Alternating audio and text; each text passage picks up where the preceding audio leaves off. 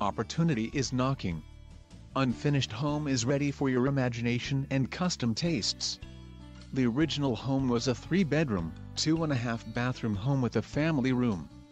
The rebuilt remodeled home has 2,294 square foot and the possibility of a four to five bedrooms and four bathrooms. The exterior of the home sits on over one acre and is zoned for horses. There is a gazebo, a shed, a large covered patio surrounding the large in-ground pool. The home has an oversized three-car garage. There is a propane tank on site and the area home are on well and septics. What a great buy for over an acre. Come see this home loaded with possibilities.